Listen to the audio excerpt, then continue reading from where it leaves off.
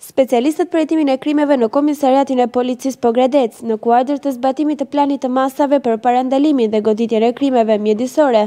goditën dy raste të tjera si rezultat i të cilit u bë arrestimi në flagrancë i shtetasve SM, tridhjetë e tetë vjeç, banues në fshatin Memëlisht Pogradec dhe MSH, tridhjetë vjeç, banues në fshatin Stropskë Pogradec, pasi këta shtetas janë konstatuar nga shërbimet e policisë në fshatin Çezmë, Pogradec, me dy mjete kamion tip Benz, duke transportuar secili nga pesëmbëdhjetë metër ster dru zjarri pa leje. Në cilësinë e provës materiale u sekuestruan mjetet dhe sasia e lëndës drusore. Materialet i kaluan Prokurorisë pranë Gjykatës së Shkallës së Parë Pogradec për veprën penale Prerja e paligjshme e pyjeve.